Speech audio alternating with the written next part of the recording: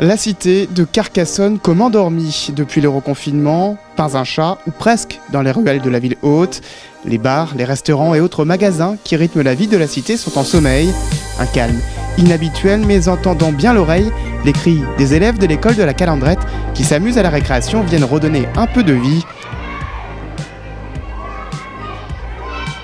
En parcourant la cité, on trouve tout de même des promeneurs venus en voisin profiter du lieu.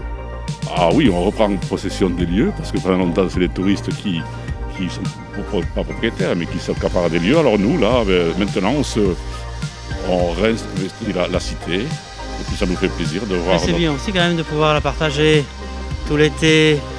il en faut un peu, il faut, c'est ce, qui est, ce qui est aussi agréable. Mais j'avoue que là, franchement, ça fait, euh, ça fait plaisir.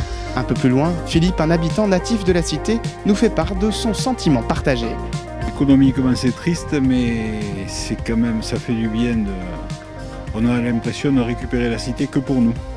on n'a pas les. On la partage moins. Là, il y a un petit peu plus de passage, donc c'est un peu moins. C'est un, peu moins triste quand même. Près de la place Marcou, Justine, une employée de restaurant, se sent comme privilégiée de vivre le confinement au cœur du monument. Euh, je me sens un peu épargnée parce que c'est très calme, la cité elle est magnifique. Donc euh, par rapport au confinement, c'est vrai que c'est un peu triste en tant que commerçant de voir tout ça fermé.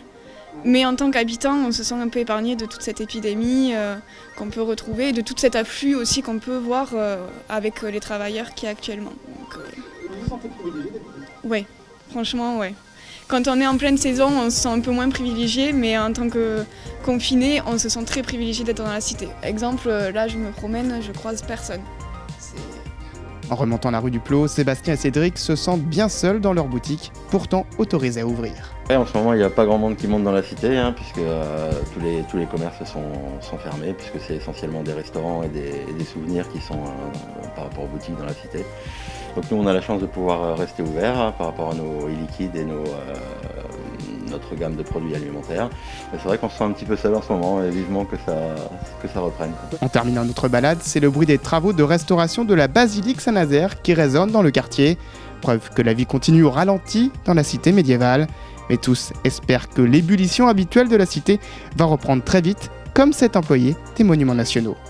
Même au niveau de l'ambiance, au niveau euh, bah, de, de, notre travail de tous les jours, euh, c'est triste, quoi. on n'est pas, on pas habitué à cette situation. Voilà. On espère qu'on va vite reprendre le cours des choses, parce qu'une cité euh, sans public, c'est pas, pas la vraie cité.